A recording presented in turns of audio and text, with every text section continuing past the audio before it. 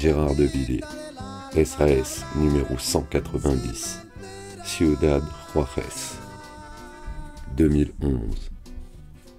Chapitre 1er Guillermo Ramirez passa une main déjà possessive sur la croupe cambrée de Myriam Vasquez et lui hurla à l'oreille Vamos L'ambiance du Don Félix commençait à chauffer.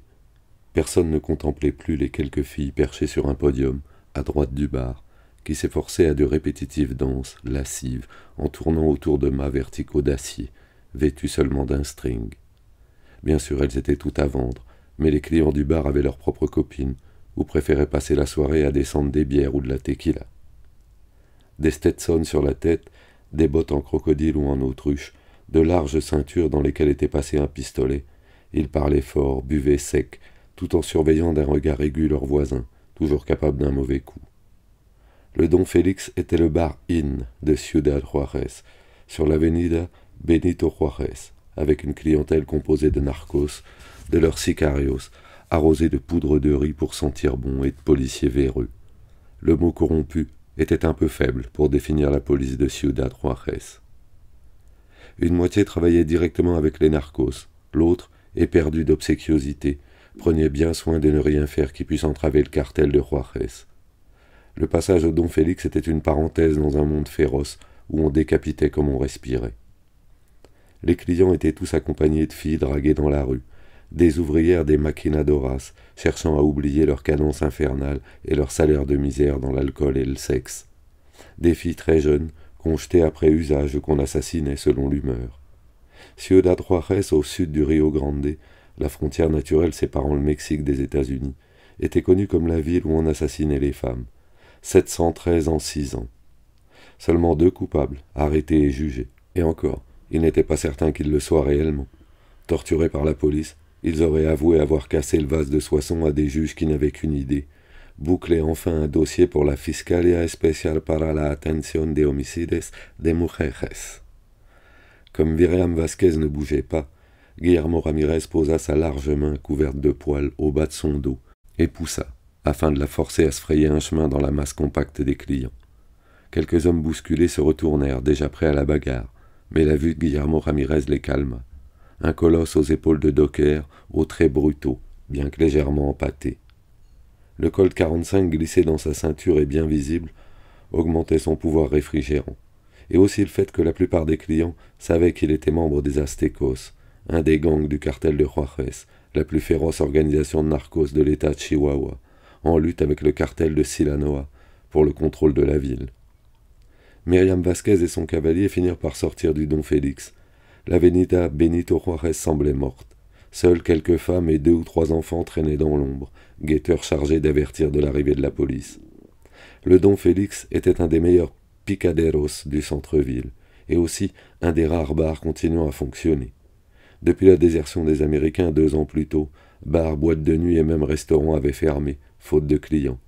En outre, l'atmosphère de terreur qui régnait sur la ville décourageait les gens de sortir. Seule la place de la cathédrale, le samedi, accueillait les marchands ambulants et des gens ordinaires venus prendre un frais relatif.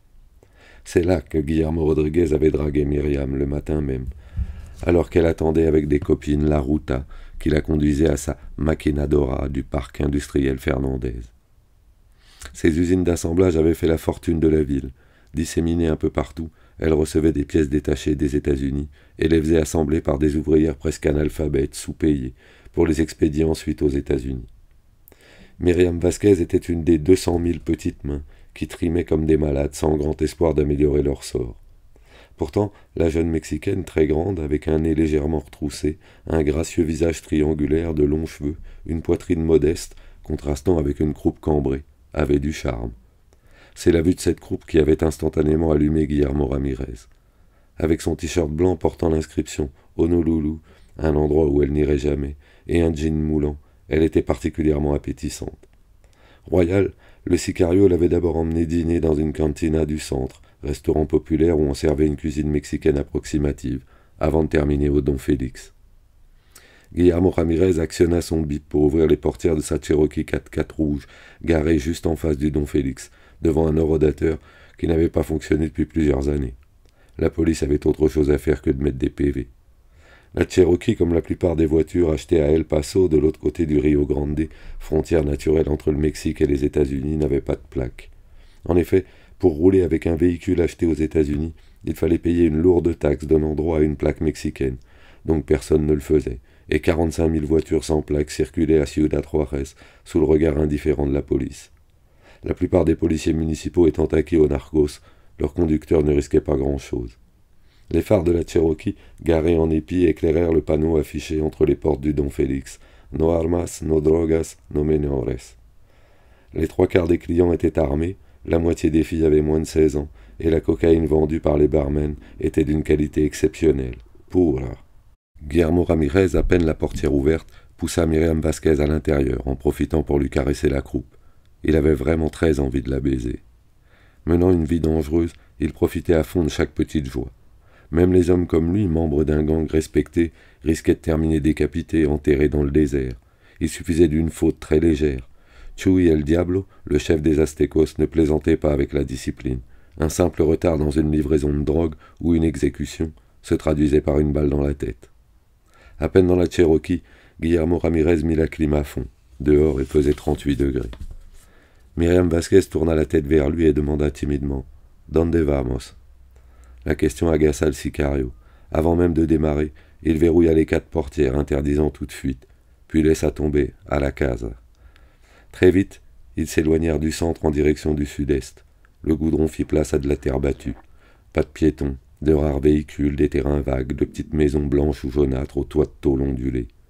La colonia La Gaviota n'était pas prospère. La frontière voisine, matérialisée par un filet d'eau courant entre deux murs de barbelés, zone patrouillée par les custom officers américains sur d'énormes quads. Elle était doublée par une voie de chemin de fer où défilaient d'interminables convois, amenant leurs matières premières aux maquinadoras. Au sud, les dernières maisons du quartier dans d'immenses terrains vagues balayés par le vent. Guillermo Ramirez stoppa en face d'une petite maison isolée et sauta à terre, aussitôt assailli par une violente rafale de vent. Il y avait toujours du vent à Ciudad Juarez, un souffle puissant qui recouvrait la ville d'un écran jaunâtre de la couleur du désert.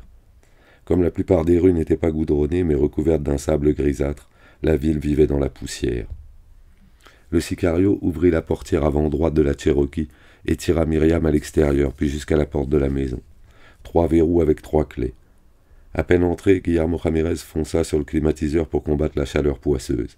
Il n'y avait que deux pièces, avec une salle de bain et une cuisine, dont il ne se servait jamais et où s'entassaient toutes sortes de choses, dont une presse à mouler des briques de marijuana, souvenir du temps où il débutait. Que quieres tomar Sans attendre sa réponse, il prit une bouteille de bière et l'ouvrit avec ses dents. Myriam Vasquez l'observait, intimidée, debout au milieu de la pièce. Tranquillement, Guillermo Ramirez déboutonna sa chemise et s'en débarrassa, exhibant un torse puissant, couvert d'un poil noir comme celui d'un orang-outan. Ensuite, il marcha sur Myriam Vasquez et, plaquant ses deux larges mains sur ses fesses cambrées, la tira contre lui. Tu sais que tu as un beau cul, lança-t-il. Je vais te l'exploser. La jeune femme, effrayée, tenta de lui échapper. Aussitôt, Guillermo Ramirez, lâchant la croupe de la jeune femme, serra les deux mains autour de son cou et lâcha. Petite conne, si tu m'emmerdes, je t'étrangle. Tu ne serais pas la première. Terrifié, Myriam Vasquez cessa de lutter. Bueno, approuva Guillermo. Il prit la main droite de la fille et la plaqua contre le devant de son jean. Tu vois, je bande déjà, fit-il hilar. Comme Myriam Vasquez ne bougeait pas, il défit la ceinture de son jean puis le zip, le laissant tomber sur ses bottes, découvrant un slip rouge déformé par un gros sexe. Déshabille-toi, ordonna-t-il. Lui-même s'assit sur le lit, arracha ses bottes d'autruche puis son jean. Myriam Vasquez n'avait pas bougé. Il lui jeta un regard noir. Tu viens, oui ou merde? Comme elle s'approchait du lit, il se débarrassa de son slip et s'allongea en lui lançant Chupa et allongea le bras et attira sa conquête sur le lit. En un clin d'œil, il l'eut dépouillé de tous ses vêtements. Myriam Vasquez était plutôt maigre, mais sa chute de rein était magnifique. Guillermo Ramirez tenta d'abaisser sa tête vers son ventre, mais elle résista. Tu es timide, hein? lança le narco. Je vais t'aider, te faire monter au ciel. Il se redressa, prit sur la table de nuit une boîte à pilules et l'ouvrit. Elle était pleine d'une poudre blanche. C'est de la bonne, lança-t-il, de la pure, ça va t'aider. Délicatement, il plongea un doigt dans la boîte, ramena de la cocaïne et commença à en enduire le gland de son sexe. Myriam Vasquez ne bougeait toujours pas. Il la saisit violemment par la nuque et gronda Si tu ne me suces pas, je te coupe les seins. Méchamment, il prit un des mamelons et le tordit jusqu'à ce qu'elle crie. Domptée, la jeune femme prit le gros sexe dans sa bouche, et Guillermo Ramirez se laissa aller en arrière avec un sourire d'aise. Ne mords pas, lança-t-il. Souvent, ces filles inexpérimentées maîtrisaient mal la fellation. En peu de temps, il arbora une érection d'enfer. Les joues rouges, le regard brillant. Myriam Vasquez semblait plus détendue et le suçait avec application. Spera, lança le narco. Dès qu'elle eut relevé la tête, il se leva et la força à se mettre à genoux, la croupe au bord du lit. Il s'approcha, tenant son sexe de la main droite, tâtonna un peu et s'enfonça d'un coup dans le ventre de la jeune femme. Myriam Vasquez poussa un cri bref. Même la cocaïne dont le sexe de Guillermo Ramirez était enduit n'effaçait pas la douleur. Celui-ci s'escrima sur elle plusieurs minutes. La cocaïne retardait sa jouissance, et cela lui donna une idée. Il se retira et posa une main au creux des reins de la jeune femme, la forçant à se cambrer. Comprenant ce qu'il allait faire, Myriam Vasquez poussa un cri. No, por favor. Guillermo Ramirez n'avait rien à faire de ces protestations. Posément, il ajusta son sexe sur l'entrée des reins de la jeune femme, la força à s'allonger sur le ventre et se laissa tomber d'un coup sur elle. Myriam Vasquez poussa un hurlement. Le gros sexe avait envahi ses entrailles sur plus de dix centimètres. Délicieusement serré dans l'étroit conduit, Guillermo Ramirez soufflait comme un bœuf. Tu es muy buena, lança-t-il. La jeune femme sanglotait, impuissante, avec l'impression d'avoir du feu dans le ventre. Le pistolero se mit à aller et venir dans ses reins, allant de plus en plus loin, arrachant des cris de douleur à sa victime. Euphorique, le lendemain matin, il allait à El Paso, et ce voyage lui rapporterait beaucoup d'argent. Arrivé au bord du plaisir, une idée lui traversa la tête, faire ce qu'il aimait vraiment. Toujours abuté dans la fille, il glissa le bras droit autour de sa gorge, l'empêchant de crier tout en reprenant son va-et-vient. Il sentait le plaisir monter. Raidissant son bras, il tira violemment en arrière la tête de Myriam Vasquez. Il eut un craquement sinistre au moment où les vertèbres cervicales de la jeune femme se brisèrent, juste quand Guillermo Ramirez se déversait dans ses reins. Il en éprouva un plaisir inouï, plus intense que n'importe quoi. Il demeura encore un moment dans la même position, puis se retira. Myriam Vasquez ne bougeait plus, foudroyée. Guillermo Ramirez fonça prendre une douche, sifflotant l'air d'un narco corrido. Séché, il se rhabilla rapidement. Avant de dormir, il avait encore une formalité désagréable à accomplir. Prenant le corps de Myriam Vasquez, il le chargea sur son épaule et sortit. Il jeta le cadavre à l'arrière de la Cherokee et se glissa au volant, direction le sud. Dix minutes plus tard, il abandonna l'autoroute de Chihuahua, tourna à droite, passant devant l'hippodrome, et atteignit les terrains vagues qui l'entouraient. Il passa le crabeau et quitta la piste, continuant quelques centaines de mètres. Lorsqu'il s'arrêta et sauta à terre, il fut giflé par une rafale de vent. Le silence était absolu. Loin derrière lui, seulement quelques lumières de la colonie à côté Bravo. Il ouvrit le haillon arrière et tira le corps de Myriam Vasquez, le chargeant ensuite sur ses épaules. Il parcourut une trentaine de mètres dans le désert, puis, d'un coup d'épaule, se débarrassa du cadavre. Ensuite, il retourna vers la Cherokee sans même un regard. On découvrirait le cadavre dans quelques jours ou quelques semaines, si les coyotes ne le dévoraient pas avant. De toute façon, cela n'avait pas d'importance. Sur les centaines de femmes qui avaient été assassinées à Ciudad Juarez après avoir été souvent torturées, aucune n'avait été vengée. On n'avait jamais arrêté les assassins. De toute façon, l'appartenance de Guillermo Ramirez aux Aztecos le mettait à l'abri de presque tout. Il remonta en voiture et mit un CD de Narco Corrido. Dix minutes plus tard, il s'arrêtait devant sa maison blanche au toit de tôle.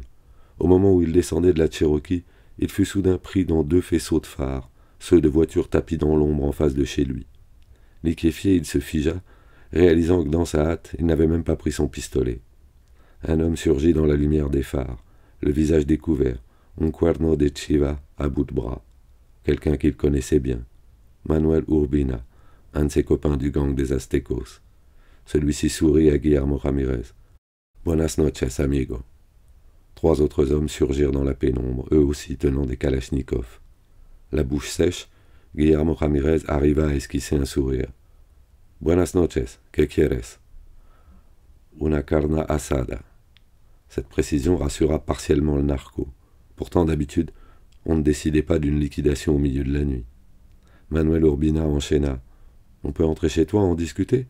Comment non Guillermo Ramirez ouvrit ses trois verrous et entra, les quatre hommes sur ses talons. Le dernier ferma la porte. Le pistolero se retourna. Il ne termina pas sa phrase. Manuel Urbina venait de lui asséner sur le visage un violent coup de crosse. La joue gauche de Guillermo Ramirez éclata. Manuel Urbina, de toutes ses forces, visa cette fois l'estomac.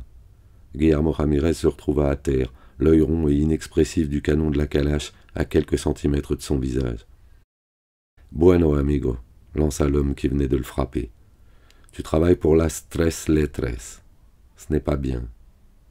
Terrifié, Guillermo Ramirez comprit alors qu'il s'agissait bien d'une carne asada, la sienne.